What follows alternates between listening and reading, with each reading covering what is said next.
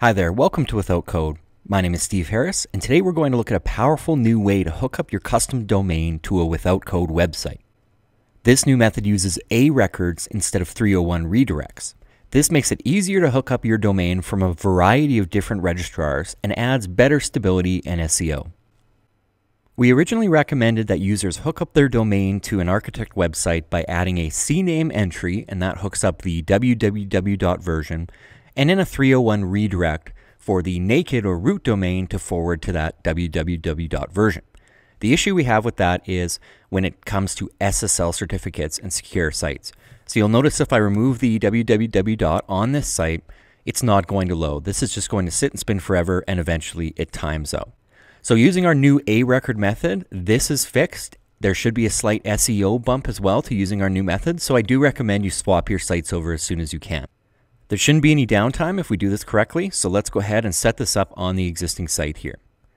So first my site is registered through GoDaddy. So I'm in GoDaddy here and I'm going to go down to Manage DNS. And then you can see I have all of my records. So my existing CNAME record is there. And if I scroll down to the bottom, there is domain forwarding set up to forward to that www version. So what we need to do is let's reference our custom domain doc that we have on our site. If I scroll down here, it says we've got create the CNAME record. Well, we've done that and that's the same, so we can leave that. Now we need to point the root of our domain by creating two A records. And you can see the A records listed here. So I'm going to keep scrolling down past the CNAME section and here I am at pointing the root domain to www. So the way that we need to do that is add two A records. So the type is an A record, the host is an at symbol. If the at symbol does not work, just leave the field blank. And last, we just need to enter the IP address of that A record. There are two A records we need to enter. So if I jump back to GoDaddy and I scroll up to my records, you'll see I have an existing A record here, and it doesn't look like it can be deleted. The reason this record exists is because forwarding is set up. So what I need to do to remove that existing record, and you should remove A records that are based on the root domain, an A record up here that says name and it's pointing somewhere else, like mail or something like that, is not a problem. But if you have another A record that has an at symbol or it's blank here, it is going to conflict with the records we need to enter. So you need to remove that. So I need to remove this, and the way I can do that is by deleting that forwarding out. So let me scroll down click Edit on Forwarding, and click Delete. So once I've done that, forwarding is gone. I'm going to refresh the page. And now you can see that A record just says it's parked, and I can delete it. So I'm going to click Edit and Delete. Okay, so my existing A record is gone. Now let's add two new ones. So I'll click Add, type A record. The host is going to be an at symbol, and then of course, just copy the IP addresses we need. So there's the first one.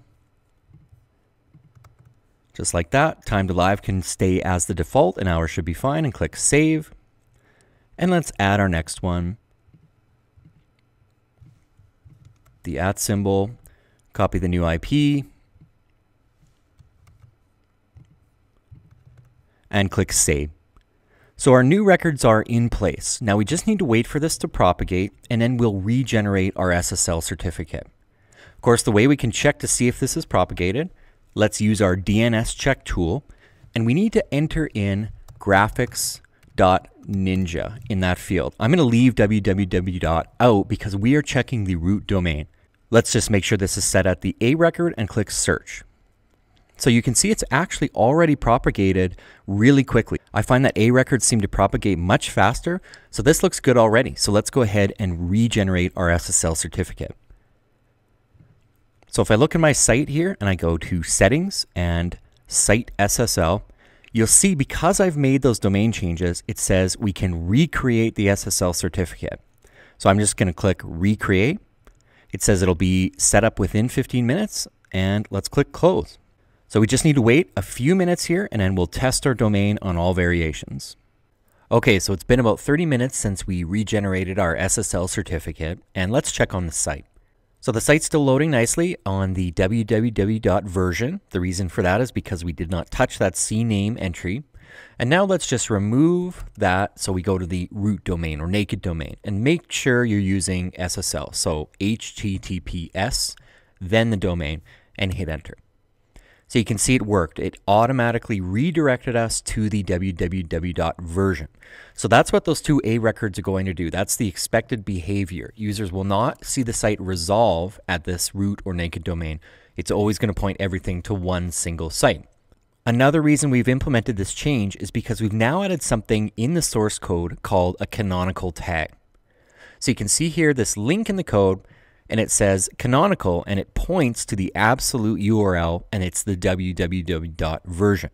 So what we're telling Google with this link is the original true source of information for this site is this full URL. So that's why we like to have those A records in place and to make sure that all visitors are going to this exact URL because we're telling Google this is the best domain for them to index. So that's all that's involved for moving our domain over to use those A records instead of a redirect. Just to recap some common trouble spots you'll see, you need to make sure you only have these two A records pointed at the root domain. It's okay to have other A records if they point elsewhere, but if there's another A record in here when we do our DNS check on the root or naked domain for an A record and click search, we need to only see two IP addresses included here. We can't have three or four, or else you're going to have issues. IP addresses act like mailing addresses for your home, and if you've got addresses pointed at different locations, things are going to get confused. Lastly, make sure you are regenerating your SSL certificate and give your site a republish once you do.